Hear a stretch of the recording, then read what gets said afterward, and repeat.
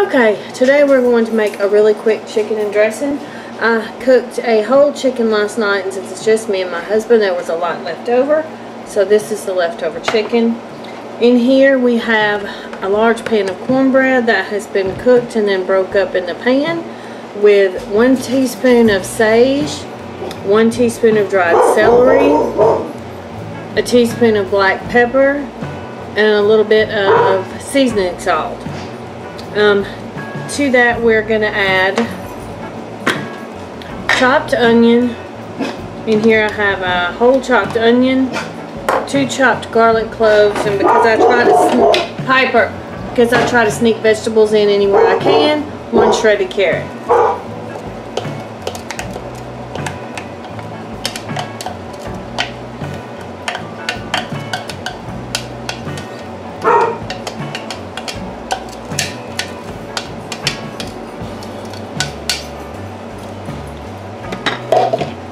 We're going to add in one stick of melted butter.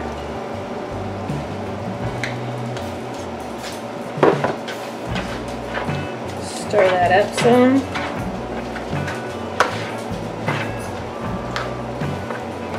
Now we also have two beaten eggs, but we're going to wait until the last minute to add that in case we need to taste it to see if we need to adjust the seasonings. You don't want to taste it once you've added raw egg to it.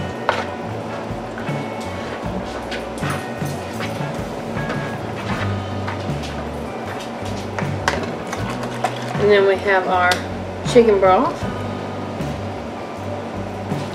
Normally I would use low sodium chicken broth, but they didn't happen to have that.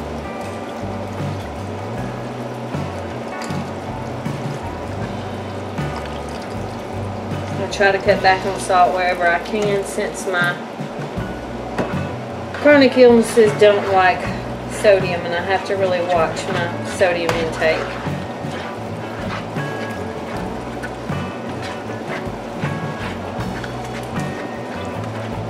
And when you put the chicken broth in there, you want to really give it a good stir to make sure that you have enough broth in it because that cornbread is going to really soak up the liquid pretty quick.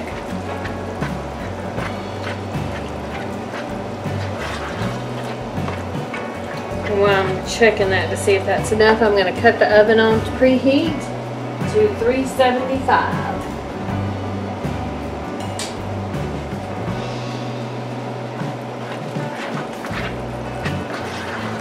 Now one pan of this we'll have tonight and then I will put another pan in the freezer for later.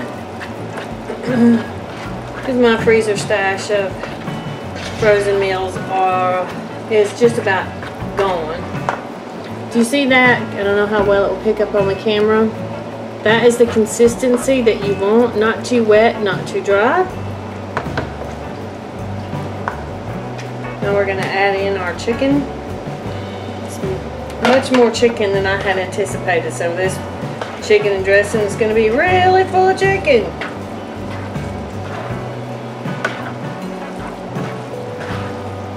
Normally I don't buy a whole chicken since it's, it is just me and my husband. But Kroger's happen to have those whole bacon chickens that are usually 10 or $11. They had them on sale for 4 and $5. So I picked one up. Now you see once you add the chicken in there, it starts to get a little bit dry. So we're going to add in some more broth. I normally don't measure things when I cook. I just look at it and know what it's supposed to look like. So this is one big box of chicken broth with a cast iron skillet that was this size of cornbread.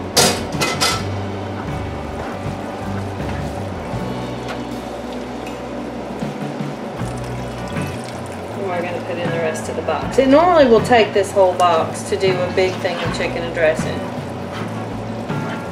Because the last thing you want is dry chicken and dressing. Let's see.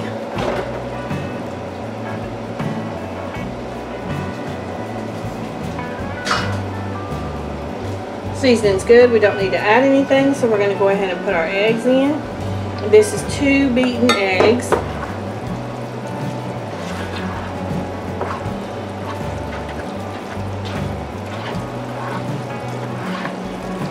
Really well mixed up because that egg is what it helps to hold the dressing together, but it also gives it a little fluffiness.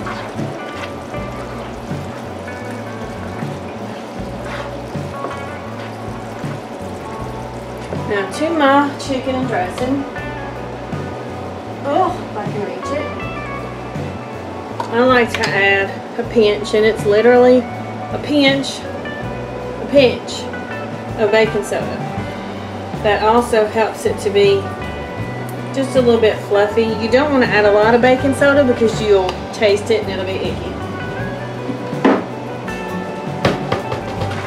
Um, some people put chopped fresh celery in their dressing.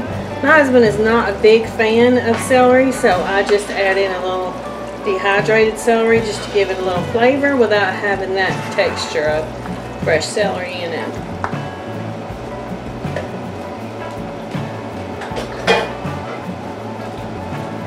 Now I have two pans out. Oh, cooking when you're short is rough. Sometimes you gotta use a spoon to reach what you need. Okay. Non-stick spray. I'm gonna spray my pans down really well.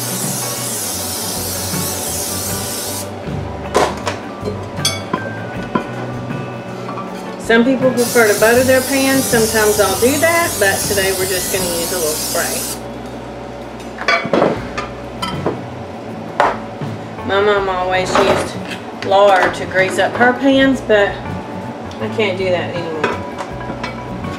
Now we have two pans that we're going to break this down into because like I said, one's going to go for dinner today and my husband's lunch tomorrow, and then the other one will go in the freezer because I've got to get my freezer meals built back up.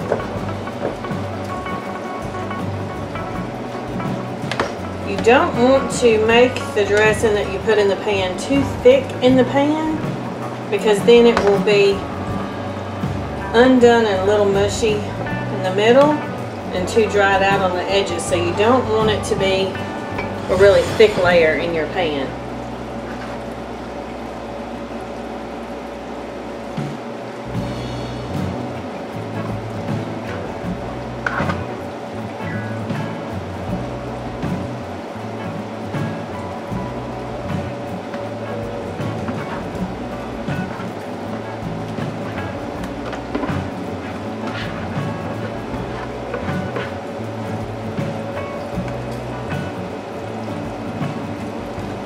Actually a little thicker than I care for it to be, but this one's going to go in the freezer so it will get cooked a little more when it comes out of the freezer to be heated up.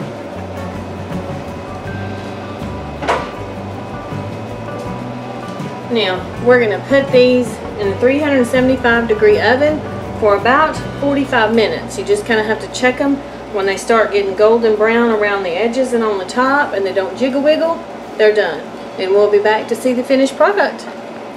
Okay, while our dressing is getting all yummy yummy in the oven, we are going to make the gravy. Now, people think that gravy is intimidating and hard to make. It really isn't. Um, I have to excuse my green goblin here, but it, it, it's pretty easy to make it. You start with a, preferably a cast iron skillet. If you've watched my channel, you know how I feel about cooking with cast iron whatever kind of oil you want, just enough to cover the bottom unless you're trying to make a really enormous amount of gravy. Then you're going to take your all-purpose flour, the best being white lily, sprinkle it in the pan. You want enough flour to absorb the amount of oil you have in the pan.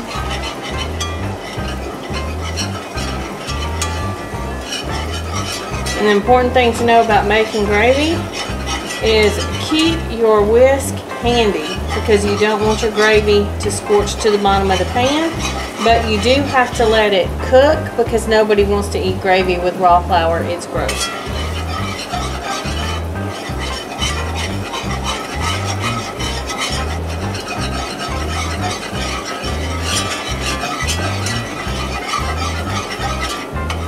this is just going to be brown gravy because it's going over the dressing.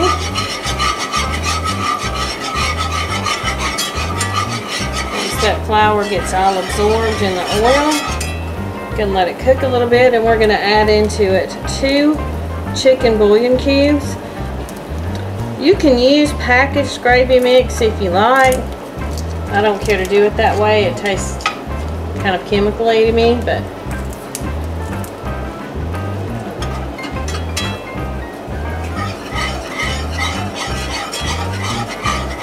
want to keep your flour moving in your pan. Because you don't want to scorch it, but you have to get that flour cooked.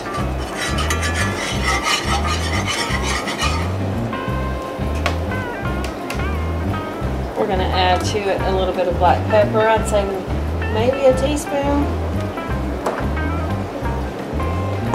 And I add in a little garlic.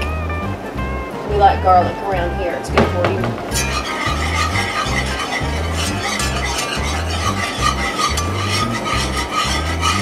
Now when your flour and your oil mixture starts to turn a little bit dark, then you slowly add in a little water.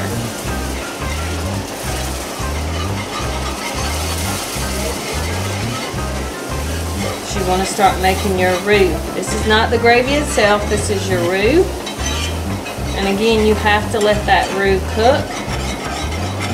And how much water you add, you learn with experience. You don't want your roux to be too thick, and you don't want it to be too watery. So it's best to just add the water a little bit at a time. And I can't give you measurements because it depends on how much oil you use and how much flour you use. You just have to eyeball it and know what it should look like.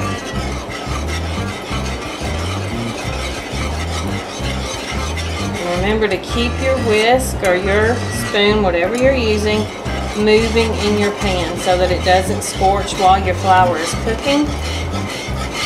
Now, do you see how that looks?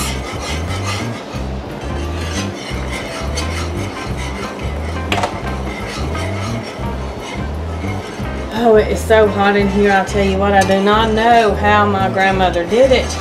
My Granny Blackburn with no air conditioning and a sink you had to pump the water into and no indoor plumbing, and this was in the 70s.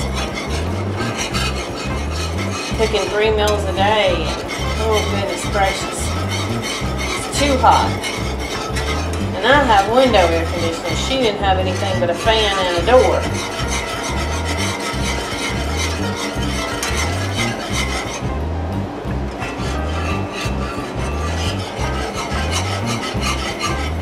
But she was a fantastic cook and she taught me quite a bit.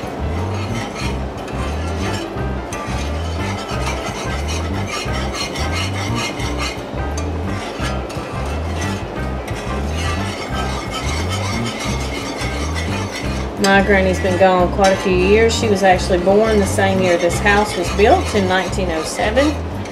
Both of my parents were raised during the Depression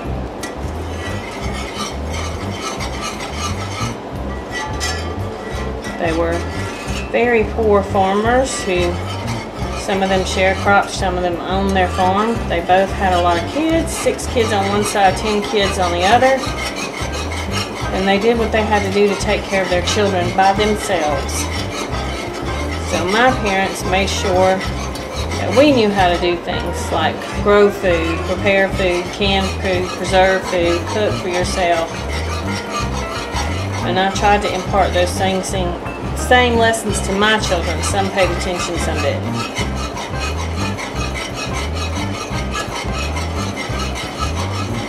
Okay, now we're going to start slowly adding a little more water because our roux is cooked.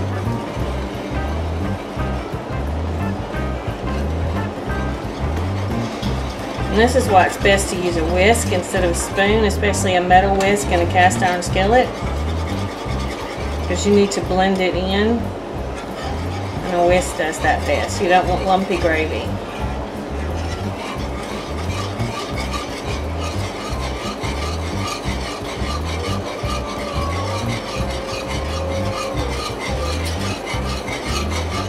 Once you get it blended in, you add a little more water.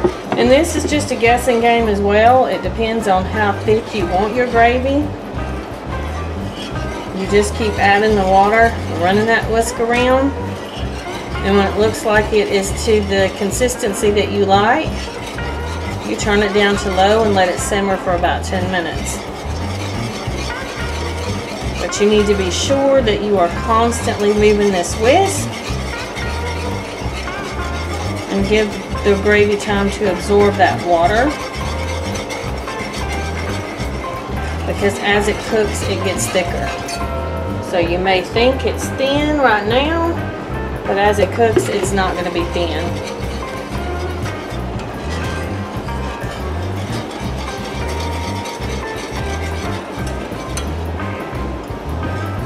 If you grew up with grand grandmothers, grandfathers that cooked a lot, taught you how to cook, what was your favorite meal? Leave it in the comments down below. My granny's was always gravy, biscuits, black eyed peas, and fried chicken.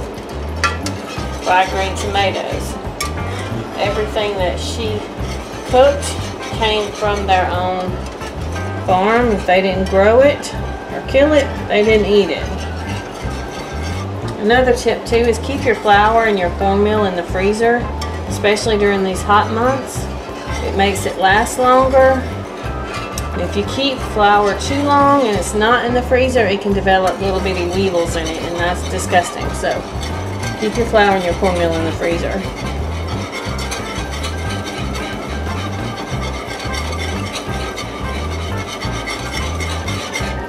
Okay, I think that's good for right now. You see it is not thick.